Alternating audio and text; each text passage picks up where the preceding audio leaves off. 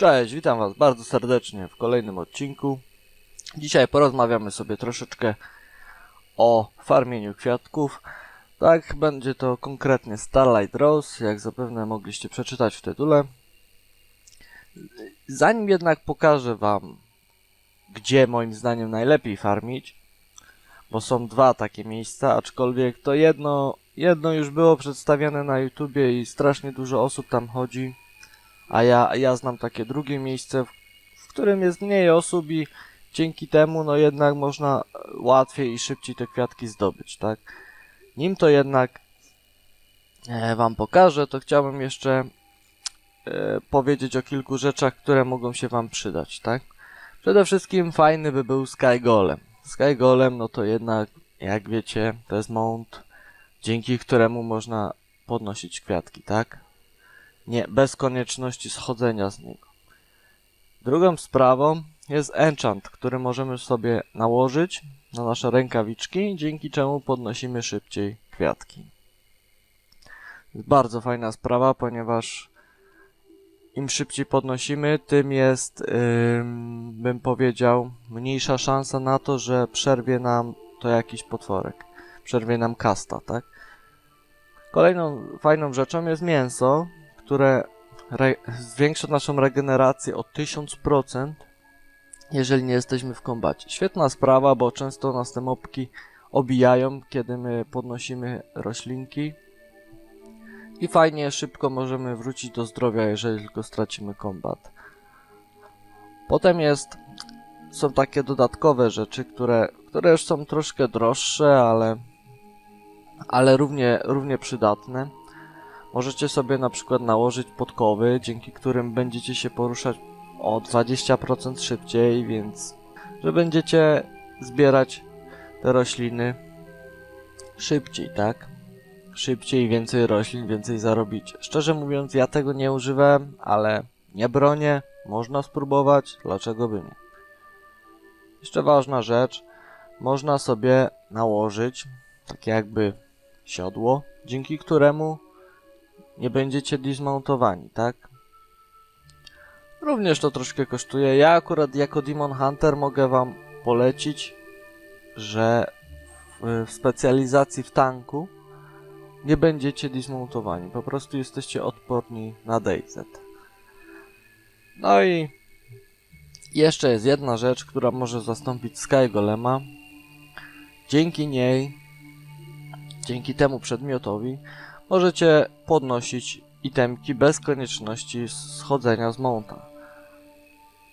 No, bardzo fajna sprawa. Zastępuje Sky Golema, tylko wiecie, no musicie ją co chwilę kupować, tak? Bo się kończy, a Sky Golem jednak jest na stałe. Dobrze.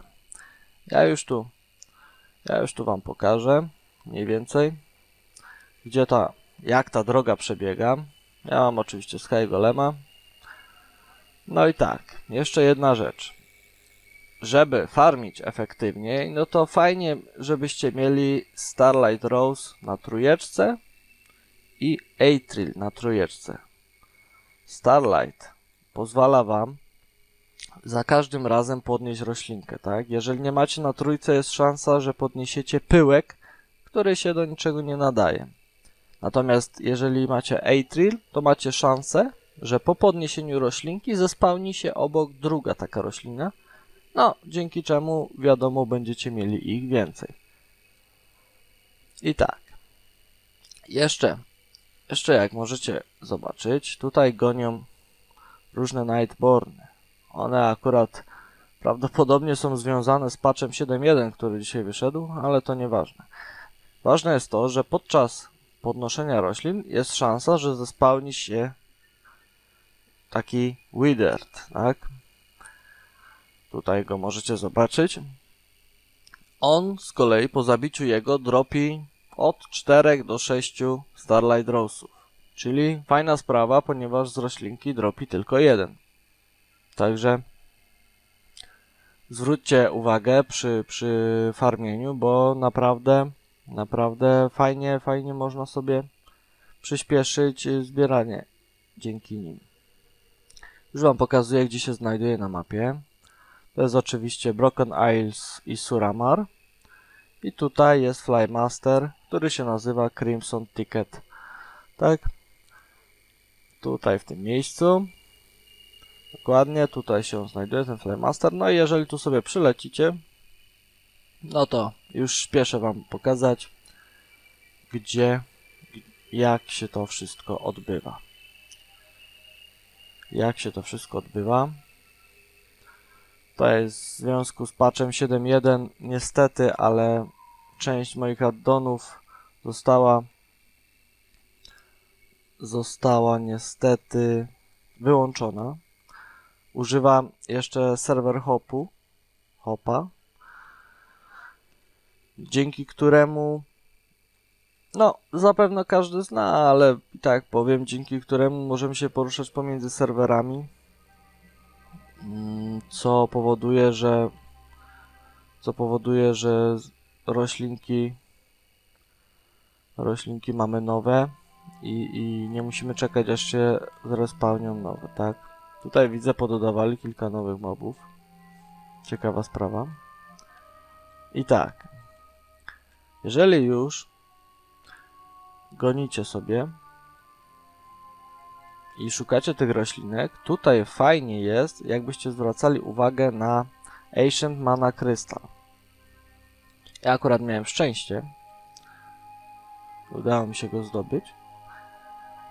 Jego to jest e, oczywiście kryształek many, który możecie sprzedać, tak?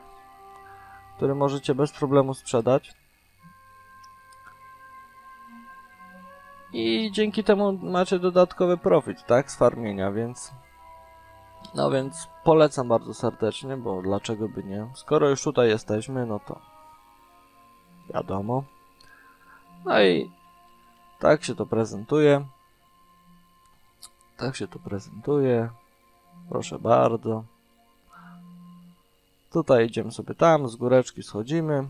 Tutaj jeszcze kawałeczek, kawałeczek. Kawałeczek, tak. No i praktycznie to już będzie koniec. Już będzie koniec naszej dróżki. Jak wiecie, zaczynaliśmy tutaj. No i zrobiliśmy takie kółeczko. Zrobiliśmy takie ładne kółeczko. I teraz w tym momencie w tym momencie klikamy sobie, żeby nam zmieniło serwer. Ja niestety, prze, przepraszam bardzo, nie mam tego addonu, ponieważ no patch 7.1 i, i jeszcze, jeszcze nie mam zaktualizowanych addonów. Ale normalnie resetujecie tutaj sobie i zaczynacie od nowa, tak? Wchodzicie w ten czas na inny serwer i dzięki temu respią się roślinki takie jak są na tym innym serwerze i możecie, możecie działać dalej, możecie farmić. Moim zdaniem to jest dużo lepszy spot niż ten tutaj. Ten tutaj był opisywany na YouTubie, czy nawet ten tutaj. No jest tam sporo tego. Sporo jest tych roślinek tam, owszem, ale co za tym idzie, jest też sporo osób, tak? Ja bardzo często miałem tak, że przez godzinę potrafiłem wyfarmić, nie wiem, 30 nawet. Bardzo dużo graczy farmiło te kwiatuszki, bardzo, bardzo dużo. Także, no, jednak, o ile może tutaj jest ich troszkę mniej niż tam, to, to za sprawą tego, że tutaj jest znowuż mniej osób niż tam, to jednak bardziej opłaca się, bardziej opłaca się tutaj farmić. Na dziś to już wszystko. Dziękuję serdecznie za oglądnięcie. Mam nadzieję, że się podobało. Jeżeli tak, zostawcie łapkę w górę. Jeżeli nie, no to oczywiście w dół. Jeżeli chcecie więcej takich filmików, to możecie zmotywować mnie do dalszej pracy poprzez zasubskrybowanie mojego kanału, za różne komentarze, tak, za łapki. No wiecie jak to działa, tak? Więc dziękuję jeszcze raz bardzo serdecznie i do usłyszenia następnym razem. Cześć!